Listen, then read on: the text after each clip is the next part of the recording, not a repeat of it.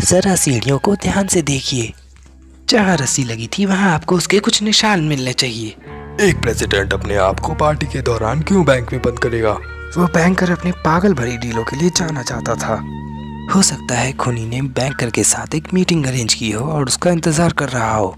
बस बहुत हुआ। क्या मजाकी मेरा दोस्त था। मुझे बताओ कि ये किसने किया है?